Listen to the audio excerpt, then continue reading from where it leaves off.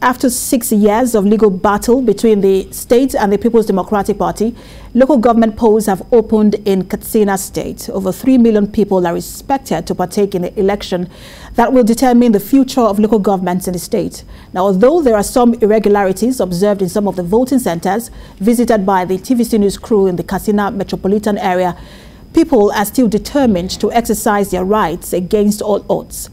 As at 10 o'clock this morning, majority of the centers were yet to commence voting, despite the deployment of some election materials and security personnel. The elections are slated to hold in over 4,902 polling centers in the state, where 12 political parties are expected to participate.